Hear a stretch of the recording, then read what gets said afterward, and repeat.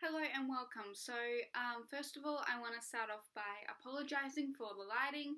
It is very, very cloudy outside right now, so yeah, um, I apologize if it's super dark. Um, yeah, unfortunately, all I have is natural lighting and a light globe up in my room, so that's all the lighting that I have to work with, but we'll go with it. And um, second of all, I just want to let you guys know that if I am looking down at the floor, it's because I have my reading journal and I have um, all like the star ratings and stuff for all the books that I'm going to be talking about for um, this video. So yeah, um, now that that's out of the way, um, in today's video, I am going to be doing my September wrap up. So I read five books. I read five books over the month of September, and it was a very up and down reading month for me. So I read four physical books and one audiobook. So let's just get started into the video. Oh, and by the way, these um, aren't in any particular order that I read them in. It's just literally whatever I pick up. So yeah, um, so, one of the books that I read over the month of September is Fairest by Marissa Meyer. Um, this book is a novella based on Queen Levana, um, who you see throughout the Lunar Chronicles. Now, I have only read Cinder, but because obviously she's featured in that, I didn't mind reading this. But yeah, because I wanted to read at least one book in the Lunar Chronicles before I read this. So yeah, um, I read Fairest, and yeah, this book essentially is just like a novella that follows Queen Levana and her journey. Um, so I gave this a three and a half stars, not because I didn't enjoy it, I did enjoy it, but it just didn't do anything for me really. Like, I knew that Queen Levana was trash, it was very obvious in Cinder, and this just gave me that, you know, it just confirmed it even more that it made me hate her even more. And I just, no, I just can't do it. So yeah, like I enjoyed it and I don't feel like Marissa Meyer was trying to make you like give her like a redemption or anything like that. It was kind of like, yeah, she's a bad person and has always been a bad person. That's how I felt like it was. But yeah, so just three and a half stars, only because I'm glad I read it and I did enjoy it, but it just didn't really do anything for me. Um, so yeah, that's why that's a three and a half stars. Um, oh, sorry, I said three and a half. Three stars. I gave this a three stars, not three and a half. Anyway, three stars. The one was The Iron King by Julie Kagawa. Now, I gave this, yeah, I gave this one a three and a half stars. I have very, I don't exactly know my thoughts on this book. Okay, so I did enjoy it, and it was a lot darker than I was expecting it to be. I definitely wasn't expecting it to be as dark as it was. Um, so I was surprised by that. But I just. I don't like the main character. What's her name again? Meghan. um, I don't like the main character, Meghan. She annoys the hell out of me, and I was just like, ugh, throughout the entire time. And one of the other main characters, Ash, and it just, oh my god, he also, his personality trait is being broody, and I just, I don't like him. And it just, like some of the choices that she made and that they like both made together throughout this book kind of just like drove me a little bit insane. And it was it was hard for me to get through. It took longer than than it usually would for me to get through this book but I did enjoy it. Like I said there were enjoyable aspects of the book and it was a lot darker than I was expecting it to be. And there were some um plot twists in there were like a couple of plot twists in here um which I liked and the world building was really good. I felt that the world building was good and I did feel like I was in the world. Um the writing I'm still not 100% sure on. Um but yeah, all together just three and a half stars. I don't I'm just I just yeah, I'm just this book has just kind of stumped me in regards to my review because of how mixed my feelings are on it. And I do actually have the rest of the series like right there. I was reading the second one, but I put it down. And honestly, I don't know if I'm to continue on. I mean, I didn't buy them, I got given them, so I didn't waste any money. But still, it was like, yeah, I'm just not 100% sure if I will continue on with the series. But anyway, so that's the Iron Chin. Uh, Iron Chin. Imagine if that was the title, the Iron Chin. Imagine what that book would be. Anyway, the Iron King, Julie Kagawa. Oh, by the way, this is a fantasy book, and um, I realized I didn't describe it. So it's a fantasy book, and in this book, um, we follow the main character, um, Meghan Chase, kind of has to go to this fairy world that she doesn't know exists to find her brother who uh, goes missing. So that's just essentially what it's about. Um, I can't say too much else, otherwise it's going to give it away. Um, and obviously try to avoid spoilers as much as I can on here. So yeah, yeah, I'm I'm glad that I read it and I'm glad that I experienced this book. Okay, so um another book that I read in the month of September was A Very Large Expanse of Sea by Tahereh Mafi. I really enjoyed this book. I gave it a five out of five stars. So yeah, really enjoyed. This was my favorite book of the month. Um, so yeah, every month I'm actually thinking of doing like saying which one is my favorite book of the month.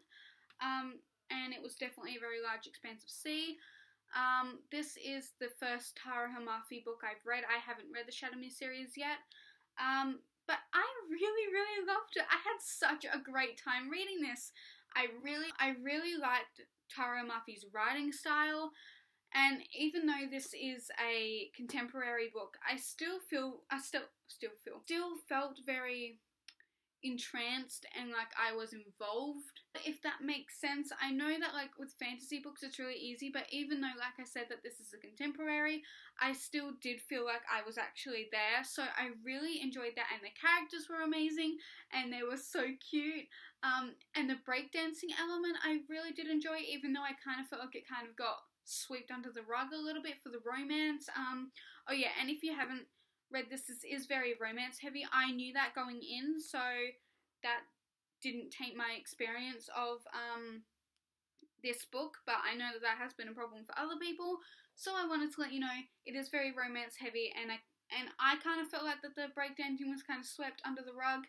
You know, we had mentions of it here and there, which was super cool. I know nothing about breakdancing, so I learned a little bit through this book, which was really cool.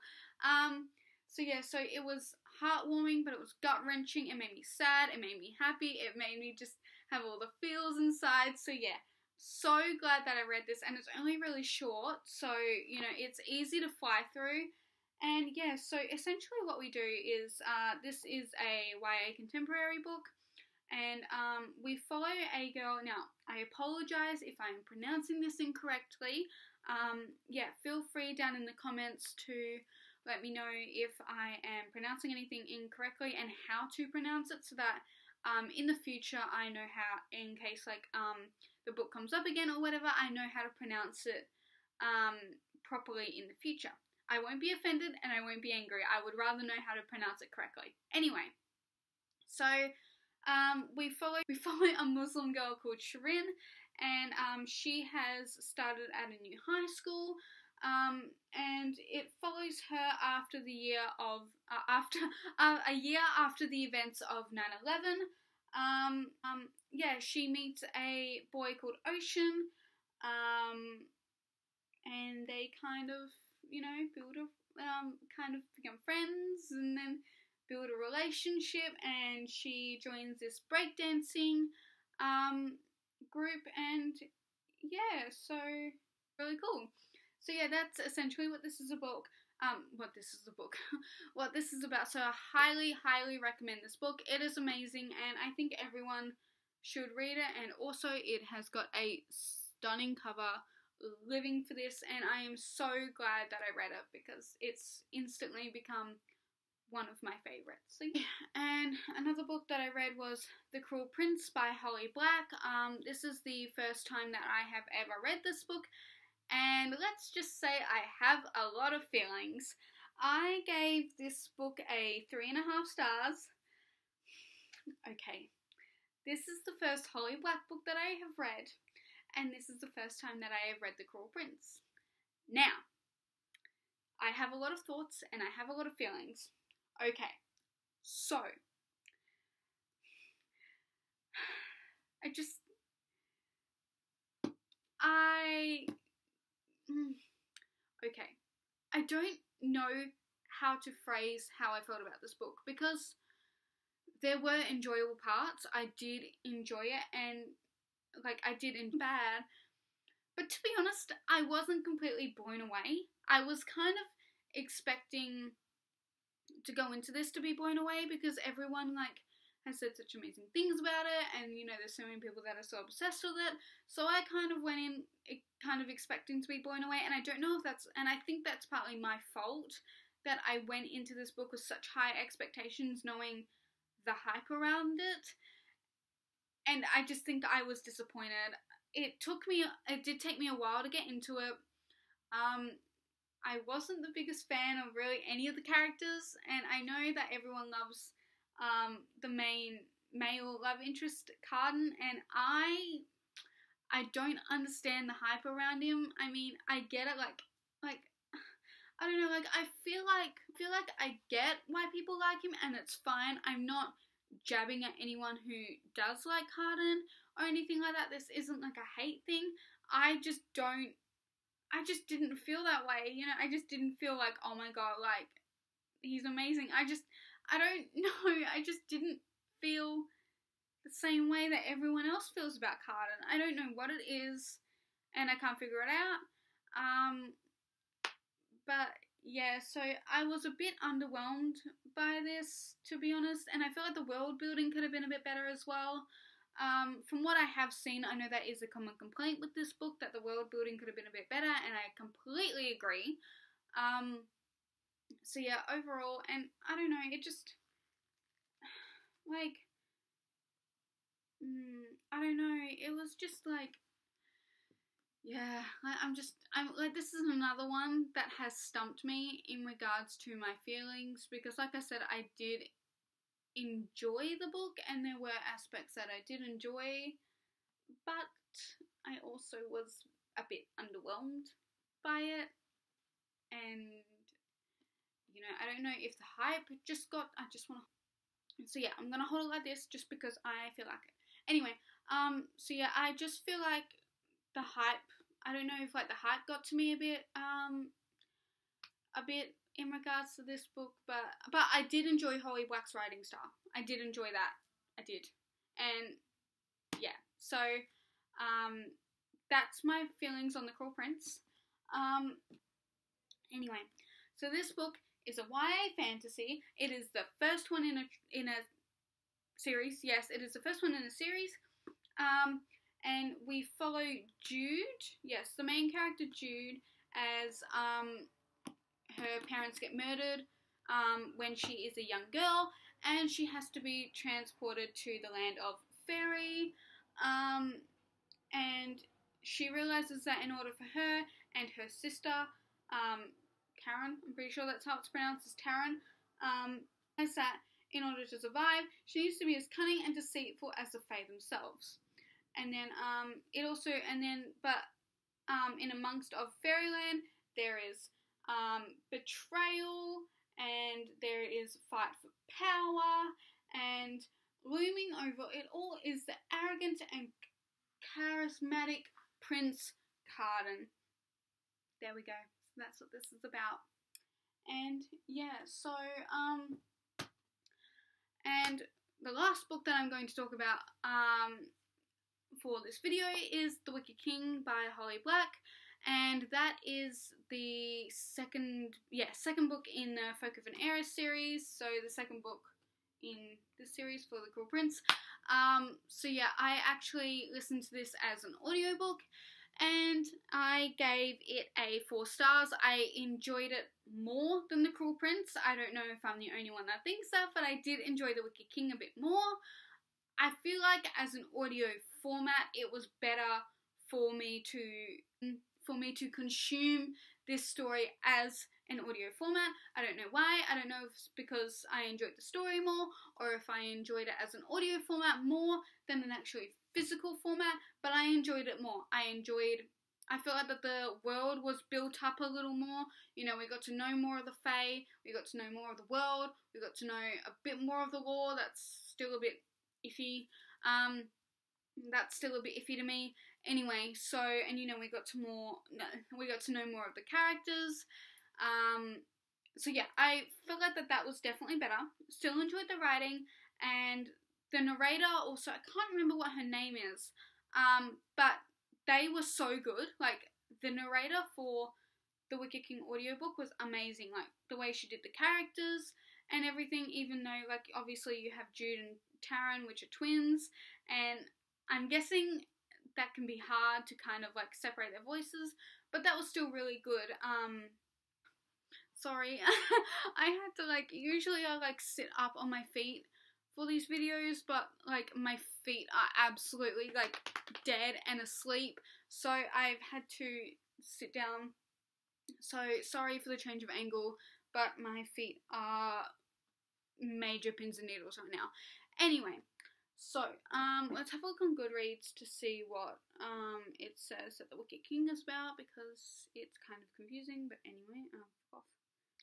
So Goodreads has said that um, the Wicked King is about follow Jude, of course, because she's the main character, um, and she's trying to do everything she can to keep her brother safe um, from, um, yeah, everything she can to keep her brother safe, and um, and but um, in the process of that, Cardan is doing everything in his power to humiliate and undermine Jude, as his fascination with her remains undiminished.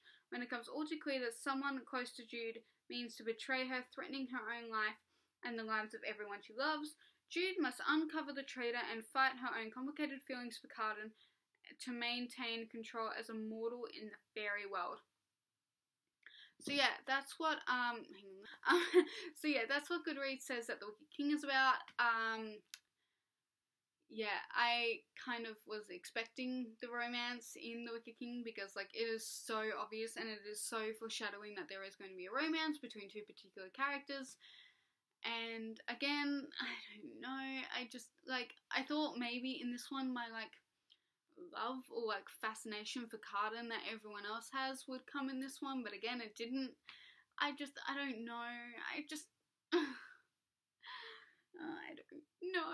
I just, I don't know. But I did enjoy this one a bit more. Like I said, I thought that the world was built up a bit more. We got to know a bit more of the characters. Um, and there were a few plot twists that I wasn't expecting. So I enjoy a good plot twist that I didn't see coming. So, yeah, I think that's all that I have to say in regards to The Wicked King. I probably will continue on with The Queen of Nothing, which is the third and final book. I mean, I'm in this far, I may as well just keep going.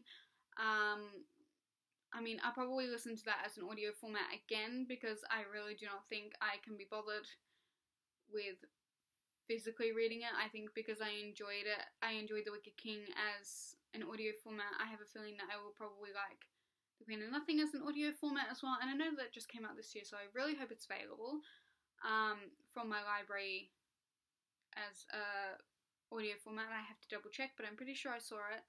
Um, but yeah, so I may as well just continue on, and then that way at least I can say that I've read it. Like I've read the Folk of the Air series, and it's done and done.